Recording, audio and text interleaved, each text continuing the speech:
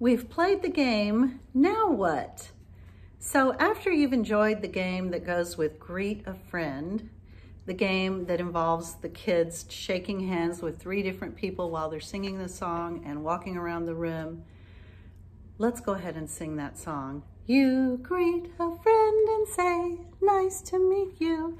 Greet a friend and say, nice to meet you. Greet a friend and say, nice to meet you goodbye and find someone new. Lie, lie, lie, lie, lie, lie, lie, lie, lie, lie, lie,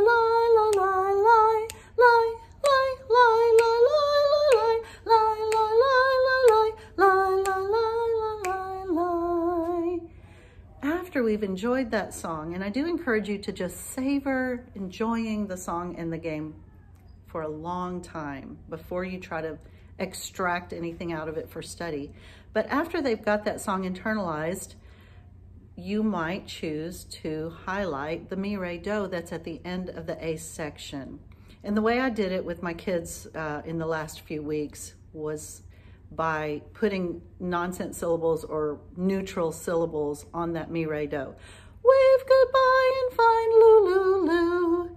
And I made it like a game so the kids got to come up with different syllables. And, you know, there's a big sun in our room, so it could be a door, a sun, whatever you see. Wave goodbye and find sun, sun, sun. Wave goodbye and find door, door, door. Wave goodbye and find up, up, up. The point is that they're going to sing it lots of times. And then I might encourage them to show me how the melody is moving, especially on the part of the neutral syllable. Loo, loo, loo. And then I'd probably tell them it's a mi, re, do. And then we might sing it with our hand signs like that. Wave goodbye and find mi, re, do. And then if I wanted to move to a symbol, some kind of bridge notation, here's what I came up with. Wave goodbye and find Lulu. You could right away put in the mi, re, do. Wave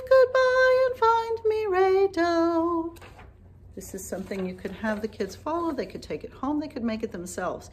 Wave goodbye and find me, do. You could even add the rhythm. I would use do, day, day. Wave goodbye and find do, day, day. You can use what works for you, whatever syllable system for rhythm you use. You could even put it on the staff here. Wave goodbye and find someone new.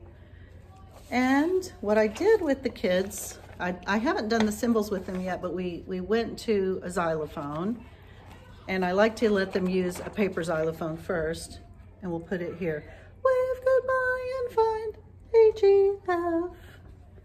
And that made it pretty easy for them to all be successful on some kind of um, barred instrument.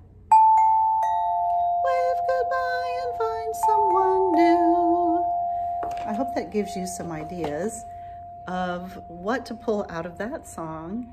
And please let me know how it goes for you.